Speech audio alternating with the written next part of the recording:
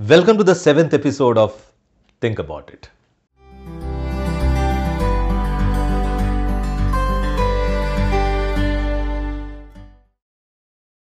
सोचो जरा का इस इंस्पिरेशनल सीरीज़ में हम हमारी ज़िंदगी के अलग अलग डायमेंशंस के बारे में सोच रहे हैं। क्या हमारी सोचना प्रभावशाली है?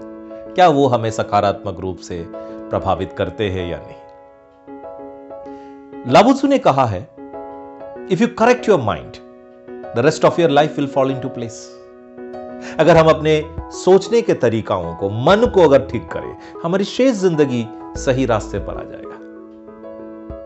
इस एपिसोड में एक मंत्री ने राजा से प्राइवेट में पूछा कि आज दरबार में जिन लोगों ने आपके विरोध में, आपके विचारों के खिलाफ बात किए आपने उन्हें दंड क्यों नहीं दिया? Don't you think it is a punishable offence राजा मुस्कुराया और कहा, चलो छोड़ो, एक बात बताओ।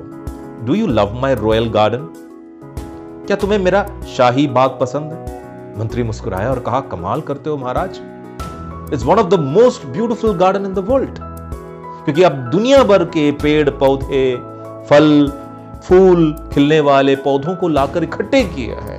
It is one of the best in this world because it has different flowers variety of fruits, different kind of plants, and that makes this garden beautiful.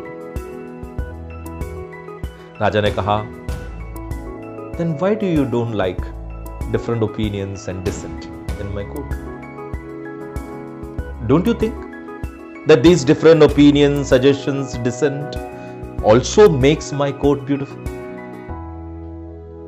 राजा ने मुस्कुराते हुए मंत्री से कहा, फिर तुम्हें मेरा दरबार क्यों नहीं पसंद? क्योंकि दरबार के विचार जो अलग अलग है, वो भी तो मेरे दरबार को सुंदर बनाते हैं। वो अलग अलग विचार और डिसेंट मेरे फैसलों को और मज़बूत बनाते हैं। सोचो जरा। Do you think like a conservative minister who is insecure about different opinions और do you think like that king who loves his royal garden full of variety.